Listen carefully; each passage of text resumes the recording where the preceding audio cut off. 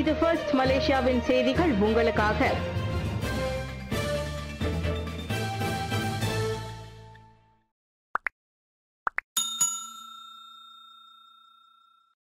இவ்வாண்டு இறுதிக்குள் கோழி முட்டை உற்பத்தி வழக்க நிலைக்கு திரும்பும். நாட்டில் கோழி முட்டை உற்பத்தி இவ்வாண்டு இறுதிக்குள் வழக்க நிலைக்கு திரும்பும் என விவசாயம் மற்றும் உணவு உத்தரவாத அமைச்சு எதிர்பார்க்கிறது. ஜனவரி மாதம் தொடங்கி விவசாயத்துறை உட்பட பல்வேறு துறைகளுக்கு தொழிலாளர்கள் தெரிவிக்கப்பட்டிருப்பதோடு சம்பந்தப்பட்ட அமைச்சுகளின் வழி அரசாங்கம் மேற்கொண்டுள்ள முயற்சியின் அடிப்படையில் இந்த இலக்கு எதிர்பார்க்கப்படுவதாக அமைச்சர் டாக்டர் ஸ்ரீ முகமது சாபு தெரிவித்தார். இவ்வாண்டில் கோழி முட்டைகளின் உற்பத்தி போதுமானதாக இருப்பதோடு ஆண்டு இறுதியில் அவற்றை ஏற்றுமதி செய்ய முடியும் என்று தாம் எதிர்பார்ப்பதாகவும் அவர் கூறினார். ஆயினும் உற்பத்திக்கு தாக்கத்தை ஏற்படுத்தக்கூடிய பருவநிலை மாற்றம் நோய்கள் குறித்து தொடர்ந்து கண்காணிக்கப்படும் என்றும் அவர் தெரிவித்தார். நாட்டில் கோழி முட்டை பற்றாக்குறையை தீர்க்க வெளிநாடுகளில் இருந்து கோழி முட்டைகளை இறக்குமதி செய்ய அமைச்சு கடந்த டிசம்பர் பதினாறாம் தேதி அனுமதி வழங்கியிருந்தது. இருப்பினும் நாட்டில் கோழி முட்டைகளின் கையிருப்பு வழக்கு நிலைக்கு திரும்பும் பட்சத்தில் இந்த அனுமதி மறுபரிசீலனை செய்யப்படும் என்று அமைச்சு தெரிவித்தது. ஜொஹூரில் இன்னமும் ஐந்து பள்ளிகள் செயல்படவில்லை. சுமார் ஈராயிரம் மாணவர்களை உட்படுத்திய ஜொஹூர் மாநில வெள்ள பேரிடர் காரணமாக இரண்டாயிரத்தி இருபத்தி மூன்று மற்றும் இரண்டாயிரத்தி இருபத்தி நான்காம் ஆண்டு பள்ளி அமர்வின் முதல் நாளில் அம்மாநிலத்தில் உள்ள ஐந்து பள்ளிகள் இன்னும் செயல்படாமல் உள்ளன. அதில் பத்து பஹாட்டில் மூன்று பள்ளிகளும் சிகாமாட்டில் இரண்டு பள்ளிகளும் உள்ளன. பத்து பஹாட்டில் உள்ள மென்டபாட் தேசிய பள்ளி தஞ்சோங் சேம்பரோங் தேசிய பள்ளி ஸ்ரீ நாசிக்பாயி தேசிய பள்ளி ஆகிய மூன்று பள்ளிகளிலும் வெள்ளம் இன்னும் முழுமையாக வடிகாததால் அவை திறக்கப்படாமல் உள்ளதாக ஜொஹூர் மாநில கல்வித்துறை இயக்குநர் முகமது சயிட் முகமது தைமன் தெரிவித்தார். அதே வேளையில் சிகாமட் மாவட்டத்தில் உள்ள பாக்கோ தேசிய பள்ளி மற்றும் மூலோ காசாப் இடைநிலை பள்ளி ஆகியவற்றில் மின்சார கோளாறு ஏற்பட்டுள்ளதால் இன்னும் திறக்கப்படாமல் உள்ளதாக அவர் மேலும் கூறினார். ஜஹூர் மாநிலத்தில் குறிப்பாக பத்து பஹாட்டில் வெள்ளத்தால் பாதிக்கப்பட்டவர்களை தங்க வைப்பதற்காக அம்மாவட்டத்தில் உள்ள நாற்பத்தி நான்கு பள்ளிகள் இன்னமும் தற்காலிக நிவாரண மையங்களாக இருப்பதையும் அதில் மாணவர்களும் அதிகம் உள்ளதாகவும் முகமது சயிட் குறிப்பிட்டார். மை பிபிபி கட்சியின் பொதுப்பேரவை மேக்லின் டிக்ரூஸ் கட்சியின் தலைவராக போட்டியின்றி வெற்றி. கடந்த ஐந்து ஆண்டுகளாக தலைமைத்துவம் அமைப்பதில் சவாலை எதிர்நோக்கி வந்த மை பிபிபி கட்சியின் பொதுப்பேரவை நேற்று நடத்தி முடிக்கப்பட்டுள்ளது. ஆர்ஓஎஸ் எனப்படும் சங்கங்களின் பதிவிலாக்காவின் ஒப்புதலுக்கு இணங்க இந்த பேரவை நடத்தப்பட்ட நிலையில் டாக்டர் ஸ்ரீ மேக்லின் டிக்ரூஸ் கட்சியின் தலைவராக போட்டியின்றி வெற்றி பெற்றார். அதோடு கட்சியின் புதிய உச்சமன்ற உறுப்பினர்களும் தேர்ந்தெடுக்கப்பட்டுள்ளனர்.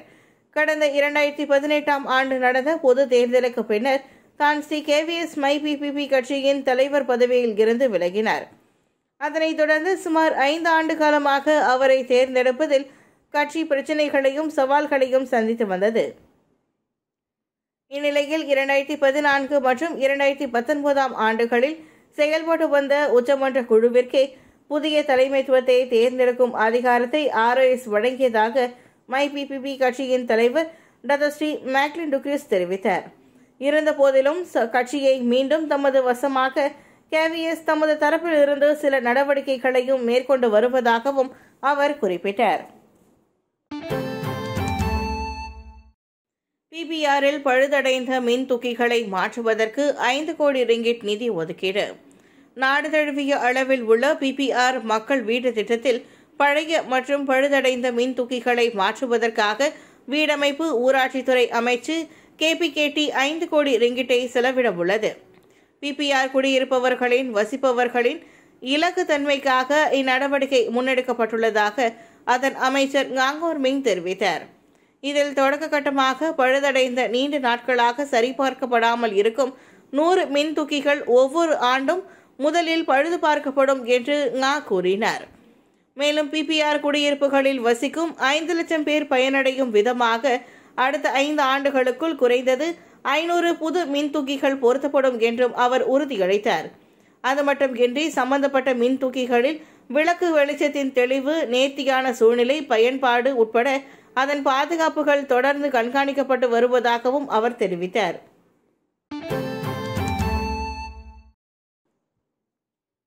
ஏ குழுவிற்கான இரண்டாயிரத்தி இருபத்தி மூன்று இரண்டாயிரத்தி இருபத்தி நான்காம் ஆண்டுக்கான பள்ளி தவணை நேற்று தொடங்கியது. ஏ குழுவை சேர்ந்த ஜொஹூர் தெலங்கானு கிளந்தான் கெடா ஆகிய மாநிலங்களில் இரண்டாயிரத்தி இருபத்தி மூன்று இரண்டாயிரத்தி இருபத்தி நான்காம் ஆண்டுக்கான பள்ளி தவணை நேற்று தொடங்கியது. அதே வேளையில் பி குழுவை சேர்ந்த மாநிலங்களான Malacca Negeri Sembilan Pahang Perak Perlis Penang Sabah Sarawak Selangor ஆகிய மாநிலங்களிலும் கோலாலம்பூர் லாபுவான் மற்றும் புத்ரஜயா ஆகிய கூட்டரசு பிரதேசங்களிலும் பள்ளி தவணை இன்று தொடங்குகிறது. பள்ளி தவணையை தொடங்கும் பாலர் பள்ளி முதலாம் வகுப்பு மாணவர்களுடன் அனைத்து நிலை மாணவர்களுக்கு கல்வி அமைச்சர் ஃபட்லினா சிட்டேக் தமது வாழ்த்தினை சமூக வலைதளத்தின் பதிவின் வழி தெரிவித்துள்ளார். உயர்ந்த லட்சியத்தோடு பள்ளி தவணையை தொடங்க ஆர்வத்துடன் காத்திருக்கும் மாணவர்களுக்கு இது ஒரு ஊக்குவிப்பாகவும் அமையும் என்று அவர் குறிப்பிட்டார்.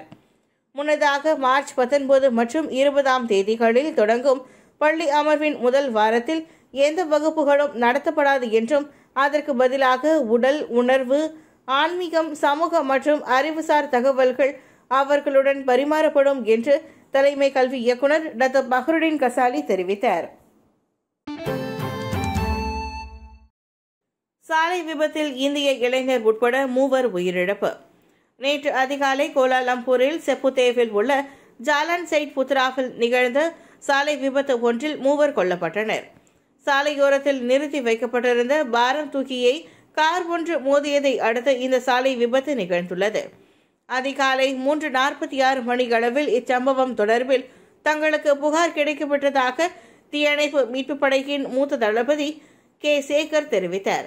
இதனை அடுத்து ஹங்துவா தீயணைப்பு நிலையத்தில் பத்து உறுப்பினர்கள் உடனடியாக அங்கு விரைந்ததாக அவர் கூறினார். இந்த சாலை விபத்தில் பாரம் தூக்கி அருகே பணியில் ஈடுபட்டிருந்த இரண்டு பாதுகாப்பு தொழிலாளர்களையும் கார் மோதியதில் பலத்த காயமடைந்தனர் அதே வேளையில் சாலை விபத்தில் காரின் முன்புறம் நொறுங்கியதால் அதன் ஓட்டுநர் இடிபாடுகளுக்கு இடையில் சிக்கிக்கொண்டதாக சேகர் தெரிவித்தார். இதில் அம்மூவரும் சம்பவம் நிகழ்ந்த இடத்திலேயே உயிரிழந்ததாக சுகாதார பணியாளர்கள் தெரிவித்ததாக சேகர் மேலும் தெரிவித்தார். அடுத்த கட்ட நடவடிக்கைகளுக்காக அந்த மூன்று சடலங்களும் காவல்துறையிடம் ஒப்படைக்கப்பட்டுள்ளதாக அவர் கூறினார். லிசி ஜியாவின் கனவு கலைந்தது. அனைத்துலக இங்கிலாந்து பூப்பந்து போட்டியின் இறுதி ஆட்டத்திற்கு முன்னேறும் நாட்டின் தேசிய ஒற்றையர் ஆட்டக்காரர் லிசி ஜியாவின் கனவு ஈடேறாமல் போனது. இரண்டாயிரத்தி இருபத்தி ஒன்றாம் ஆண்டின் வெற்றியாளரான அவர் நேற்றிரவு நடைபெற்ற அரையிறுதி ஆட்டத்தில் சீனாவின் ஷியூகியுடன் தோல்வி கண்டார். பெர்மிங்ஹாமில் நடைபெற்ற இந்த ஆட்டத்தின் முதல் செட் மிகவும் சவாலாக அமைந்த வேளையில் இரண்டாயிரத்தி பதினெட்டு உலக வெற்றியாளர் போட்டியில் வெள்ளிப்பதக்கம் வென்ற ஷி யூக்கு இருபத்தி ஒன்றுக்கு பத்தொன்பது என்று சாதகமாக முடிந்தது. இரண்டாவது செட்டிலும் அதே நிலை தொடர உலக தரவரிசையில் நான்காம் இடத்தில் இருக்கும் லிசிதியா பதிமூன்றுக்கு இருபத்தி ஒன்று என்ற நேரடி செட்களின் வழி சீனாவிடம் தோல்வியை தழுவினார். லீசி ஷியோகுய்க்கு எதிரான ஐந்து போட்டிகளில் இது லீசி ஜியாவின் நான்காவது தோல்வியாகும்.